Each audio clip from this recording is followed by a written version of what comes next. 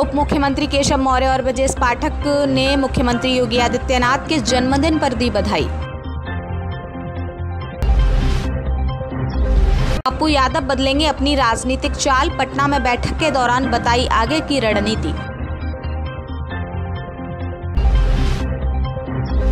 पूर्व विधायक अमरिक ढिल्लो के बेटे एवं पोते के आने से समराला में बड़ा भाजपा का आधार।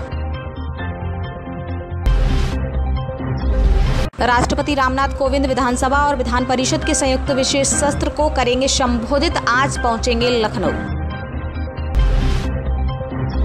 पहले भी विवादों में रहे डीसीपी शंकर चौधरी, लाजपत नगर में लेन देन को लेकर हुआ था विवाद।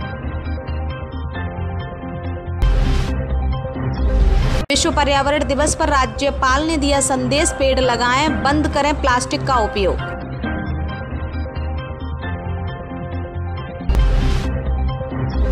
रांची में आज भाजपा अध्यक्ष जेपी नड्डा आदिवासी रैली को करेंगे संबोधित।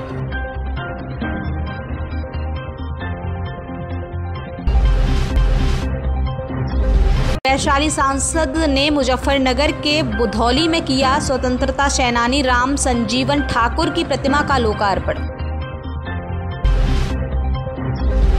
अपराधियों पर सिकंजा। आगरा के 30 गैंगस्टरों की संपत्ति होगी कुर्क। सूची तैयार। जल्द ही होने वाली है कार्यवाही। मर्चेंट चैम्बर के कार्यक्रम में पहुँचेंगे राष्ट्रपति। विभिन्न विषयों पर व्यवसायियों और उद्योगपतियों से चर्चा।